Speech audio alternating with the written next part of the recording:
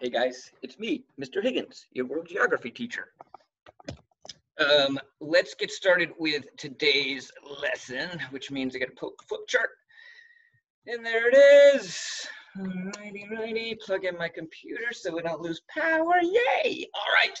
So today's focus question, which you should be able to see at the top of the screen, is how are the events of the last Charlotte Carnegie Rockefeller story similar to what happened at the Berlin Conference back in 1885? A weird question, but one that is going to exercise your brain, and that's my job. Um, your homework for today is to complete the fact check that I assigned yesterday. So that needs to be turned in by midnight tonight. Um, there's a new assignment which is due tomorrow. It's called Analyzing the Allegory, which I'll talk about in a few minutes. And then don't forget, you should be practicing your virtual map quiz, um, the Central Africa plus one that was assigned yesterday. Um, short agenda today. I'm going to uh, go over the guidelines for our Google Meet that's happening later this afternoon. I'm going to talk about the Analyzing the Allegory assignment, and, uh, and then that's it. It's going to be a quick video. Fingers crossed. Um, oh, look at today's picture. It's LP giving Luna kisses. It's so cute. I love my dogs. Um, the quarantine stories. Quarantine. It's a weird word to say. I invented it. Um, those stories have been coming in. They're super fun. Um, I'm going to feature probably a couple of them tomorrow, but keep them coming in uh, because every Wednesday we're going to be featuring, I'm pretty sure, a couple of quarantine stories, maybe like one from E period and one from D period each day. Um, our first Google Meet is scheduled for later today. D period, I'm going to see you guys hopefully at 1 o'clock. And then E period, I'm going to see you right after that at 1.20. The times for those, uh, not rather, uh, not the times, the links um, to get you into those Google Meets will be posted like 10 minutes before the Google Meet is supposed to start. And that is assuming I can figure out how to use this technology. Keep in mind, this is the first time Mr. Higgins is doing this. And if you remember back to the first day of sixth grade when I tried to use the flip chart for the first time in the Promethean board, not so great. So um, fingers crossed that this is going to go off without a hitch, but I think we all know better, don't we? The good news is that sixth grade is happening first, so the big problem should happen to them today. All right, so our first Google Meet, even though you're at home right now and it doesn't feel like you're in school, when we're doing Google Meet, you're in school. And there are some rules that apply, and I want to go over what those rules are with you. First of all, dress code. Like you should be dressing like you would for school, like I do, you know, like this nice fancy tie, like I wear every day. Um, you should be dressed the way that you would dress when you're coming to school on a normal school day. You should not be dressed like this. Seriously? Like no pajamas, no bathing suits? What? It's not even that warm out, and you're making people uncomfortable. So please make sure you are dressed appropriately for school because people can see you. Thank you. Um, location, location, location. Where you film from is pretty important.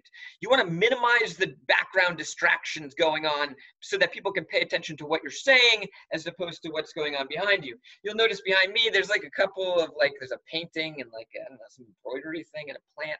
Nothing that interesting. You should aim for the same. Um, you know, like it, I would avoid uh, using my bathroom as a background because that's weird and it will make everyone super uncomfortable. And you probably shouldn't have like some Netflix playing behind you while we're trying to have our Google Meet today because people will be more interested in that than what I have to say. Um, so please make sure that you minimize the distractions in the background. Next up, shh uh, what I mean by that is you should mute your microphone when you start the Google Meet, and you should only unmute it when it is your turn to talk. If everyone has their mics unmuted and there's 23 of us in the room, um, we're not going to hear anybody what anyone has to say. Especially even if you're not talking, there could be background distractions like your dog barking or your mom yelling at you or whatever the case may be. So please.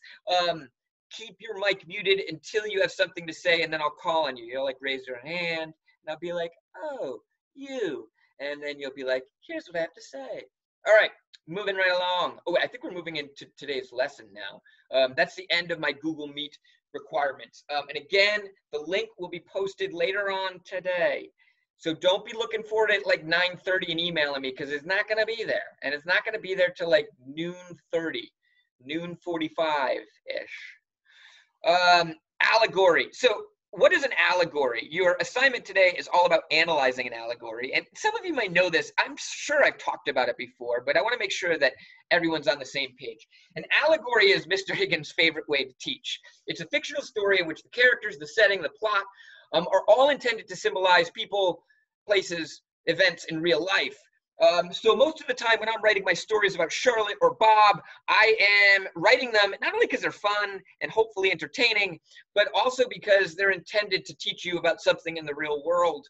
So for example, last year when we read the story, A Wealthy Biscuit Baron Facing Bankruptcy, Who is to Blame for Bob's Business Going Bust? Um, in that story, where Bob's dog biscuit empire crumbled, um, the, the character Blaine, Bob's brother, was supposed to represent Hugo Chavez, aka Huge Chavez, the uh, former leader of Venezuela. Uh, today, what you're going to have to do is go back to that story about Charlotte's first visit to Marcy's house and tell me who's Charlotte supposed to represent in that? It's an allegory for colonialism. Is Charlotte Europe or is she Africa? Who's Marcy? Is Marcy supposed to be Europe or Africa? There's a Google Doc for the assignment that explains everything that you need to do. If you have questions, you can email me or you can ask me in the Google Meet if it actually happens. Um, last but not least, here's what you should be working on today. Work on the fact check, the one I assigned yesterday on African colonialism. Um, that is due at midnight tonight. Analyzing the allegory assignment that is going to be posted at 9 a.m. this morning. Get it done. It's not due till tomorrow, though practice time. Make sure you get in one or two practices of our map quiz for the week on Central Africa and all the other regions as well.